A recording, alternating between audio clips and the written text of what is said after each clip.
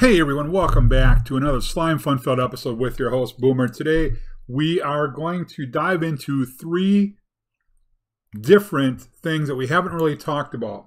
One is a long time need for a use for magnesium. Two is a new upgrade to Core Slimefun. And the third is something that I just love.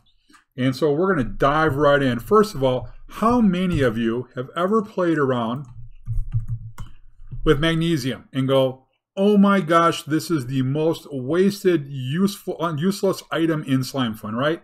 Everybody knows the magnesium generator was kind of like, eh, because for one, you needed magnesium salt. Well, to get salt and magnesium, run it through the heated pressure chamber to get magnesium salt. But to get salt, you had to manually smash sand into an ore washer.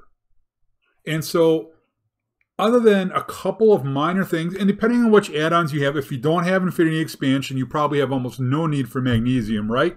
Wrong.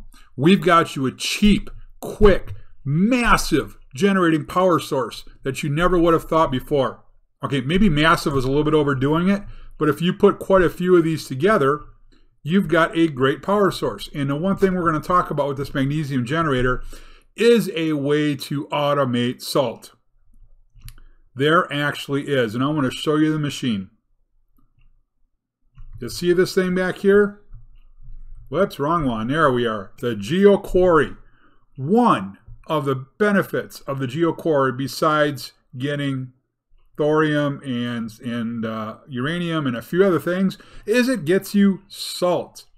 I have five of these running in my in my base right now, and they're really just going, everything's going to trash because my basic storage unit has over 6,400, whoop, 6,400 items in it already.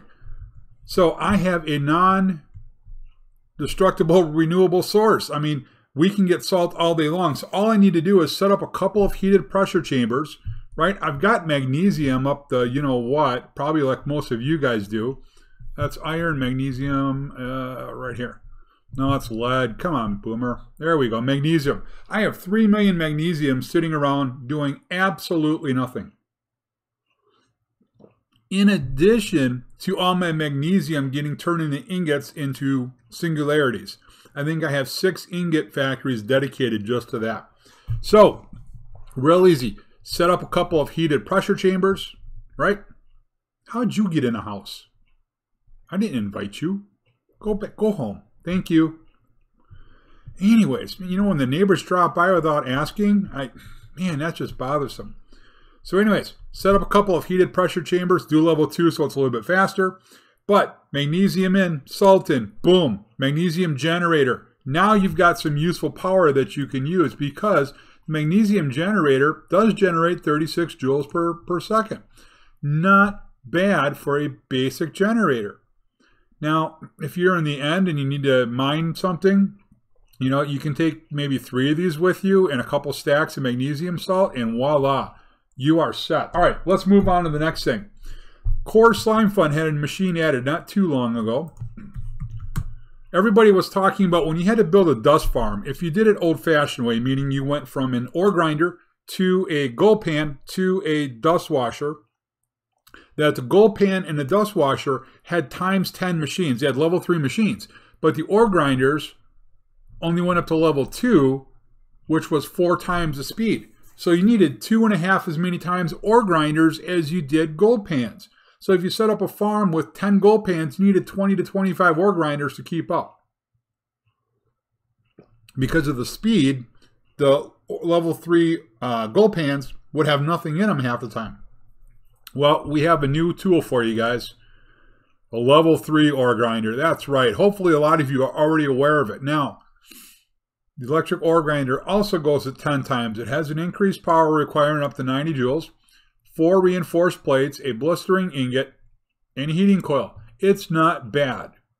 Now, if you happen to have like a 100 of these because you're turning bones into bone meal for uh, Android farms, it's going to cost you a little bit of time getting, you know, 32 reinforced ingots for every one. But we now have a 10 times ore grinder in the game. I'm excited. One last thing I want to show you today. We're going to come outside. I was hoping to show you this in the last episode. I just didn't get to it. All right, we're going to leave that there for a reason. How many of you, let's see, what can I afford to lose?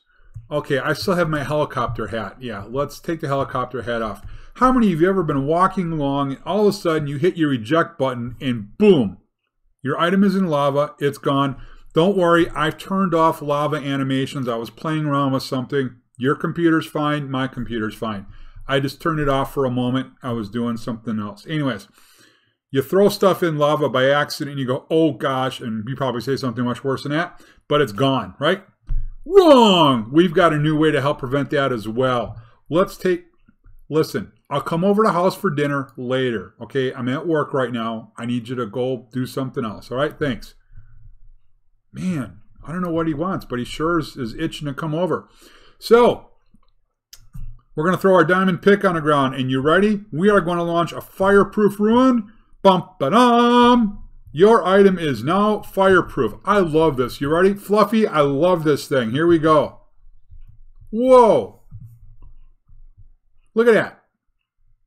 Isn't that slick? Not only does it not sink in lava, it doesn't sink when you've got flames going from like underneath a smeltery, but it bounces to draw your attention to where it is. That is so cool.